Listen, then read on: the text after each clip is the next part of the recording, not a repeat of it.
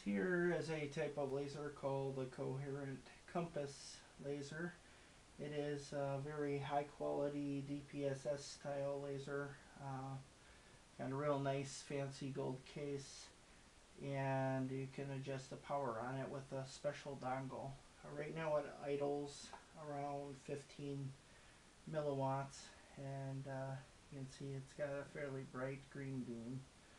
Uh, the uh, internal components can be rebuilt into a much much stronger laser of around 500 milliwatts without really trying just by adding a higher powered pump diode to it um, and externally controlling it.